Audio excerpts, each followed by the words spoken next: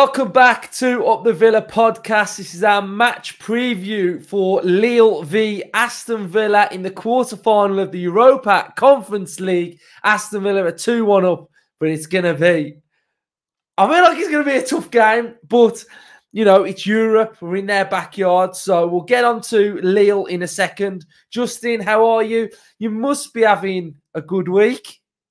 Excellent week, yes. Can't get much better than uh, coming off the back of that win, can it? Oh, mate, it's just absolutely incredible. Like to watch the highlights and the goal and to break the, you know, this is the beauty of uh, of creating content is that you get to like live with it for a bit. You know, you get to break it down. I did the debrief and so good looking at the the key elements of the game and just absolutely fantastic. So we're going to kick it off then. I've got three topics I want to talk about before we get into Lille. So, my first one is a question for you at home. Where do we rank Ollie Watkins in Premier League level strikers? Now, I'm ranking him very, very highly. And I'm ranking him highly not only because of his goals and his goal involvements, but I think when you look at these type of things, you've got to look at where we are in the table. And I think that's telling that we've got these goal involvements, we've got the goals that he scored 19 goals. You know, we've got 29 goal involvements now for the whole season. For me, I think he's going down as one of the greatest Premier League strikers that Aston Villa have produced. It's bold, but I think it's I think we're getting there.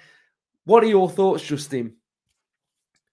As far as Aston Villa's go, yeah, he's, he's right up there, isn't he? Um, off, off, yeah, off the top of my head, Dwight Yorke, absolutely incredible. Love Dean Saunders, love Dalian Atkinson. I love Dion Dublin. I love Benteke. You know, we have had some really good players and really good strikers at Villa, but I think his consistency since we got promoted back to the Premier League has been really, really good. And all you could ask of any footballer is they improve season in, season out. And that's what he's done. He's every single season, he's improved. And I, think manager wise, barring, we won't talk about the one manager, but barring sort of him, um, everybody's got the best out of him, haven't they? I think Dean Smith was very good for him, had him obviously at Brentford. Uh, he came into Villa, he, he settled very quickly, quickly became a fan favourite. Uh, and I think that the one or two little things to his game that frustrated us, which was his slightly his finishing, um, and, and that is improved as well. And I think that's massive credit to, to Unai Emery. Now I don't, I can't really think off the top of my head one player that that he has sort of coached that hasn't improved, and, and there's none more so starker than, than than Ollie Watkins. You know, he's gone from being eighth, ninth in the Premier League goal scoring charts now to up in the top two or three. And, and with Salah coming towards the end and uh, maybe question marks over the next couple of seasons that, that Haaland might actually leave and get to say someone like Real Madrid. I don't really see many people that can touch him in the next few seasons. You know, he's, he's at the peak of his career, age wise, 28, and, and he's just getting better and better and better. So, provided we keep the nucleus of this team together, um, and he doesn't get any major injuries, then I, don't. I, just can, I, I, can't see this form dropping. I can't. I really can't. He's he's becoming a really really good all round striker, regardless of what Troy, Troy Deeney says. He's an absolute plank. Um, yeah, brilliant. One of the best, and potentially, if he continues the way it's going, probably will end up being our greatest Premier League striker. I want him to get this record. I really want Don't him to all. get this. Don't we I all. really, I really want him to just get this record and, and just get it done and get it done and, and dusted. that's what yeah. I mean. Get it done. But yeah. no, I, you know, I echo what you're saying. And I, I, think the beauty of Watkins is what I really like about him as well. Is the, well, there's a lot of things, but a couple of the things that have just popped in my head.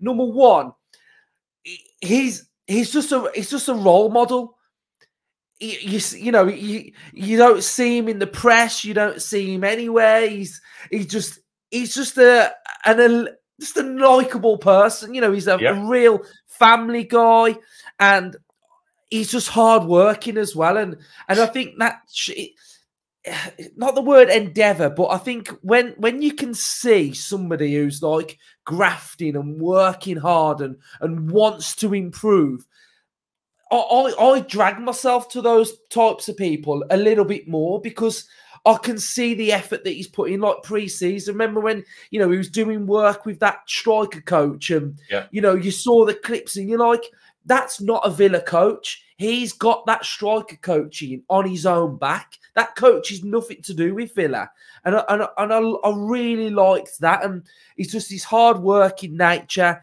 and now you, I can start to not. I think sometimes you, you can have an ability, but I think sometimes you've you've got to believe in that ability. And I think what I'm finding with with Watkins now is that he's talking like an elite striker, and, and I think that's key. I think there's something switched in his mind that's like. I believe I'm a proper like I'm a proper striker, and I think that's really important as well. So um, those are a couple of things that I'd like to say about Watkins, but he, he's absolutely unbelievable, and he was unplayable at the weekend, and I just really wanted to touch on him a little bit, really, because I think I don't think he get, I still don't think he gets the credit he deserves. No, I think he's um he's approaching that level now where people have to take notice of him. A bit like you know after that performance the weekend, they have to take notice of Villa again. Now everyone just thought he was going to drop off, but we've had a bit of a wobble. But you know that performance has smashed us straight back into the right front and centre of everybody's thi- thinking now of, of how big a club we are. And I think it's important that Ollie Watkins has got that desire and that belief. But I think what's the most important thing for him at Villa this season has been that he's got a manager that believes in him, a manager that can see the levels that he can go up to, and you know the numbers he's producing are something that we haven't seen at Villa, you know, for a very long time. It- it- you know, he, he's gonna he's gonna go past thirty uh, 30 goals in all competitions this season, which is a ridiculous number. You know, that's Harry Kane type numbers, and it's something that as a squad for everything to come together and be a, a successful team, there's certain positions. Every position is important. I get that, but there's certain positions within the eleven that you have to have the best players in, and striker is one of them because goals is the hardest thing to come by. And I think the other end of the pitch, we couldn't have two better bookends to our team, could we? You know, I- I might- we proved that on hmm. Sunday. On Sunday, didn't we? Martinez making that amazing save with his foot, and then Ollie Watkins finishing off the game right at the end with a, with a sublime finish, probably the best finish I've seen this season. And and everyone in between is just fantastic as well. But those two either end have been very very special this season. Very special. Yeah, and everybody talks about the spine of a team. The spine of the team's so important, and like you've just said, Yeah. at the one end we've got the well, the second top goal scorer in the Premier League, and at the other end we've got the world's best goalkeeper. So, if Not you bad, can get the if you can get the middle bit working, well, which we do, then you, Yeah. you're on for a winner, really, aren't you? So, next up, I've been asked this question quite a lot, and, I, and I'd love to get your thoughts. Nicolo Zaniolo, do we sign him in the summer? Now, a little bit like the Ollie Watkins chat that I've just had, I get I get drawn to players again that can come under immense amounts of criticism because I'm a positive Villa fan and I want to back them. I want to believe in them. If everybody else sort of washes their hands with someone, I'm going to that player and I'm backing him to to prove the doubters wrong. But Zaniolo, it's took him a bit of time to get going. He's played in multiple positions this season. I'm starting to see an Unai Emery player in Zaniolo. And again, on Sunday, it made me think, you know, on that left hand side, he played a real, real strong game against Arsenal. He scored some big goals for Villa, two Premier League goals, Sheffield United and West Ham. And I've still got a little inkling that he's going to get another big goal this season. So, thoughts, Justin, on Zaniolo? Do we sign him or not? Oh, yeah. I mean, it's a difficult one, right? And here's my thinking. It's cost. Obviously, it's a big factor going into the summer. You know, we've got this. Who knows what we've got hanging over us as far as ins and outs go with money side of things. And I think he has added value to the side. I think, you know, I said to someone yesterday actually that um, I think the two loan signings I'm going to miss. I think Lenglet and Zaniolo have done incredibly well. Loan uh, sort of being a loan player at a club where you more or less know you're going to have a season because you're covering, well, they were covering from Mings and Buendia essentially. They were both brought in on the back of those two season ending injuries.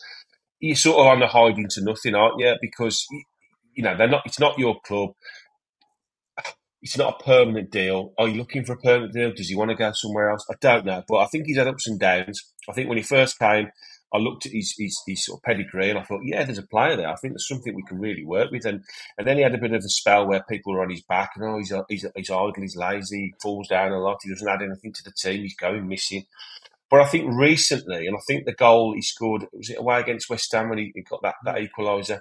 I think that's given him a boost of confidence. I think the manager's played him quite a lot recently, and, and to start him on Sunday was was a big big vote of confidence. You know, I didn't have him in my starting eleven. I thought we'd go a different way. So that's that shows that the manager's starting to have this belief in him, and I think he repaid that on Sunday. I really do. I think he, you know, he was a little bit in and out in the first half, but I think his role in the first half was very different. You know, a bit like the whole team. You know, we had to stay in the game. We had to ride out a storm to an extent, and I think he did well. He's got that profile. He can hold the ball up. He can. He's a bit of a. He's a bit of a Duran. You know, they're, they, you know, the pair of them are like you know, nutcases when they come on. I, uh, and, but I do think he, yeah, he has got quality. I don't think there's any question he's got quality. And I think we saw that in the second half tremendously with with the way he was carrying the ball and running and, you know, causing havoc. Do we sign him? I don't know. I'm, I'm going to sit on the fence with splinters, I'm afraid. The one thing that could make us sign him is, is if possibly someone like Jacob Ramsey was to be if we had to sacrifice somebody, I know there's people saying maybe it could be Ramsey because of his youth team coming through. So if we got a really, really decent amount of money for a Ramsey and Buendia's back in the squad next season, then yeah, if, if we could get a deal done for the right amount, ultimately, Luke, if if we sign him, it's because the manager wants him. If the manager wants him, then that's good enough for me. I don't care what anyone else thinks about him. If Unai Emery thinks there's a player there and he can work with him and he can improve him, as he's done with everyone, then I will happily go along with Unai Emery. Who am I to question him? Exactly. And another player that came in in January that Unai wanted and raised the eyebrows maybe uh, of football fans was Morgan Rogers to Aston Villa. Mm. And he's getting, he's getting, for me, he's getting better and better every time I look at him. And again, he's played in different roles. He's been on the left against Arsenal. He was up top with Ollie Watkins and I thought he, I thought he looked really good in that role as well. So, uh, what are your thoughts on Rogers? Because again, he, he's like he's like impressing every time I see him, and I, I, just think if this is the early signs of of what Unai's done with Rogers, then there's some big games coming from Rogers coming up. Yeah, I've got to hold my hands up with Morgan Rogers, and I've got to be very honest. When I saw his first few cameos with Villa, I think I was at Luton when he came on. I did question a little bit whether his levels could get up to Premier League. I, I genuinely did. You know, I think Championship wise, he's a very good player, and I think he was good in that division. But to be asked to step up into the Premier League is a huge task, isn't it? It's a, it, it is a massive step up and he hasn't played there regularly. I know he's, he's he came through Man City's academy, so that's not a bad grounding for a footballer. And then, you know, we obviously identified him as somebody again that the manager liked and that can work with and feels he can get the most out of and improve. And his age profile is great. Again, he's a big lad. He carries the ball really well. So, and I, I, as I say, I, I will. I, didn't I didn't think he could make it. I was just questioning whether he could. He's, he's the arc of his career would be quick enough to allow him to settle into the team because of our because of where we are and where we want to be, Champions League and top of the Premier League. I was thinking, is he going to get enough minutes to prove his worth to this team? And I think because of the injuries we've had and because of the way the season's gone, he's had this extended run in the team and it has done him the absolute world of good and he has used it.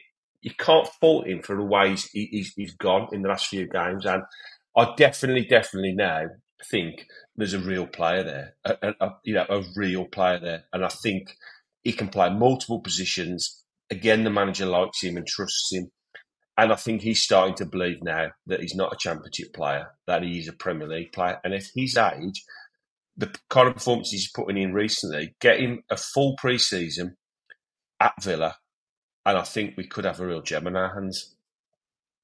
Me too. Absolutely love it. So, Lille v Aston Villa then. Tough game.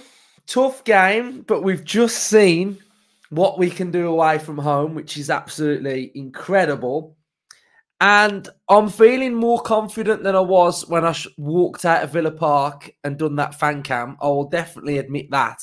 Uh, but we didn't really go too much into detail of the Lille game. We did the fan cams and we went straight to the Arsenal preview. So we didn't really have a good look at it. But we'll fly through a few things now.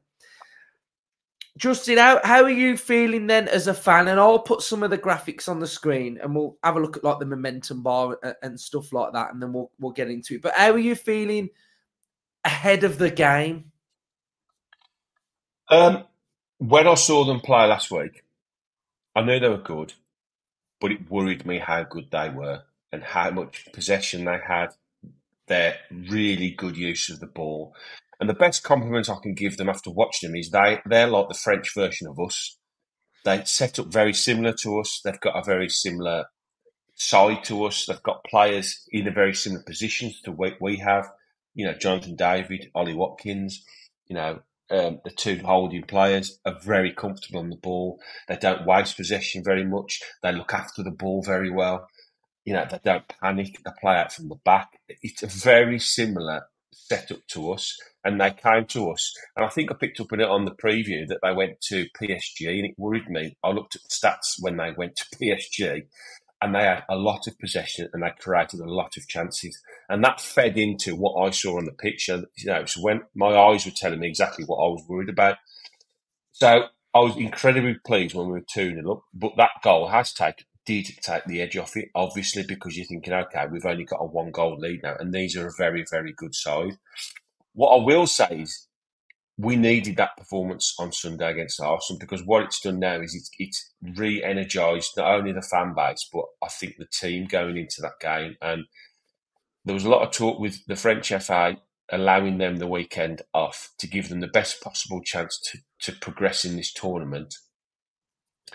I'd argue now that that possibly could backfire on them because we have gone to Arsenal and won, and it's given us the boost now to go to another difficult away game and put in another good performance. So momentum in football and footballers playing regularly is better than training. You know, I, I never played anything like this level, but towards the end of the season, when you had a back a backlog of games, there was nothing better than playing week in the midweek and on a Sunday. Yeah, you just play, play, play, play, play, and yes, we are short on numbers, but I just think we're going to go full ball now every single game. You know, I don't see anybody being rested. I think there'll be rotation, yes, with the, like Bailey and Diaby and, and the two left backs and blah blah blah. But we go full bore in every game, and that win on the weekend is huge going into this game. And I think it's potentially given us maybe the edge now, especially with that extra goal advantage. You know, that one goal advantage, whilst it didn't look enough after the game, could be absolutely critical now. Yeah, I mean, I look at the game on Sunday and think with five Premier League games to go, plus this game. So so far we've got six to go. That's not a lot of games left. And if we've put in that monster performance against Arsenal, and and we've we've re-shown everybody what we can do, and we've yeah. shown everybody what we are capable of again. Because there was that whole, yeah, but in December, this is what we were doing, and we've stuttered and we've gone and blah blah blah. But I always thought we could potentially go on a bit of a run again. Like I've always yeah. said that Manchester City will go on a run this season, mm-hmm. and they will go on this run now until the end of the season, and I don't see them losing a game.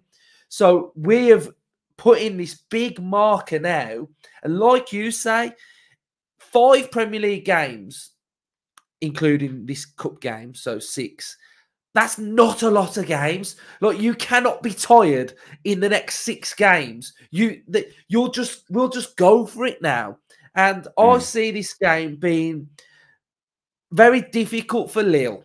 And I think you don't want to go into any game with a team having a one goal advantage.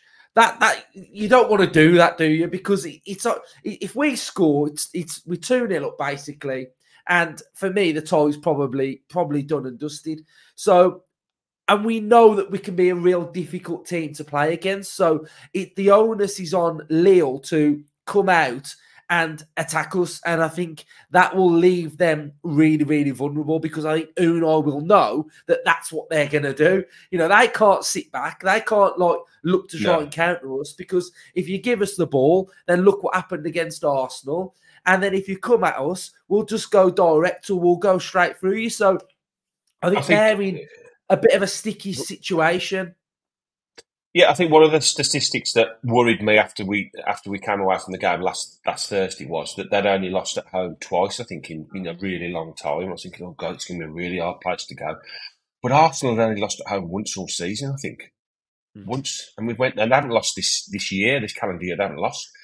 So you know we're a bloody good team, and and now we've hopefully found that boost from that win again, and and you know, and, and maybe that's the game that's going to give us this rekindle our early season form where we were absolutely sensational. Then I think, yeah, I, I think we go into it and we play it like it's a nil nil, and I think that's how he does it. I think we go over there positive, we play it like it's the first leg. That if we could, obviously, be t- you know, the the clean sheet at the Emirates is huge as well, and that's big momentum. That's good for the defence to come off the back of a clean sheet. I think we go there and play it like it's a nil and away from home. We we look after the ball. We yes, we try and score. We're not going to sit back. I don't see us doing what we did at Ajax because we had the second leg as a fallback plan in case anything did go wrong, and we can't afford to do that in this game because this is the final, obviously the second leg. So I don't see us being as as as defensively minded and sitting back as much as we did against Ajax, but I definitely see us being cagey, but ball retention and keeping hold of it and you know, trying to push forward and get that goal because, like you say, if we get that first goal, it's going to be incredibly difficult then for them to come back because they've got to open up them and come at us. And yes, they're capable. They've got some very good players, as we saw last week, mm. but it would then give us the chance to hit them on the break and get a maybe a, you know an extra a second on the night, which does it, doesn't it? But I feel it's going to be cagey to start with, with us having an eye on getting forward and making sure that you know we are proactive. Because if you get into this mindset of just sitting back, sitting back, sitting back, and defence versus attack, you're on a hiding to nothing. I don't want to see that. I want to see us doing what we did against Arsenal. When we had the ball, we slowed the game right down and we frustrated them. And as we know with Lille, watching them last week, they're very similar to an Arsenal side that like the ball, they like possession. So when we've got it, we're just slowing it right down and taking the sting out of the game, that's just going to frustrate them. And the more we can frustrate them, the more we can keep the crowd quiet, the better it's going to be for us. You know, half time, nil nil, I'd be over the moon. Absolutely, that's perfect for us because that takes them in at half time. The manager going to them, right, you've only got 45 minutes left, lads. We've got to change the, the way we're going here. And that could play into our hands as well. So it's going to be absolutely fascinating, and I can't wait.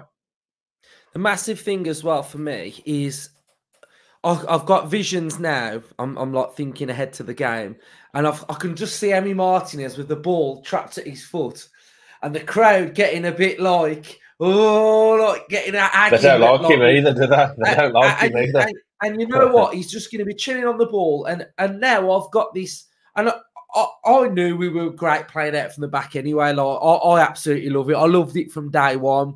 I was a big advocate from it from day one, and if you can do that and play that well against Arsenal, you can you can play out from the back against anybody because they press full press, wingers, striker, the eights, the sixes. If you can do that against them, then you can do it against anyone.